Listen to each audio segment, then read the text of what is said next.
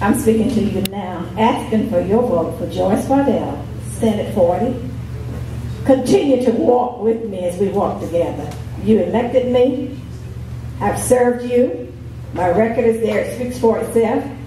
I want you to continue to walk this journey as we stay in Raleigh and do your work, the work that you sent me there to do. I have an announcement too on the 27th. All the precincts will be meeting. So if you're not in a precinct, if your precinct has not informed you, go to the website, Democratic Party, and be at a precinct meeting.